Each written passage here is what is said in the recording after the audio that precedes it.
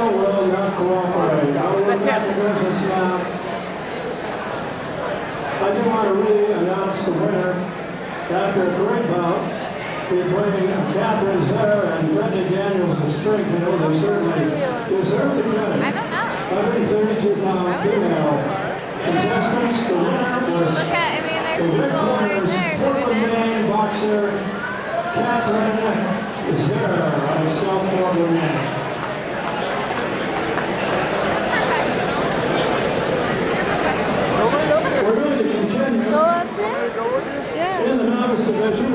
Northern New England Golden Glove Championships and weigh in at 152 pounds.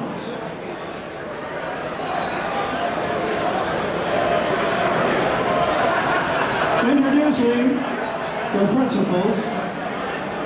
First out of the red corner from Burlington, Ben Spurlock.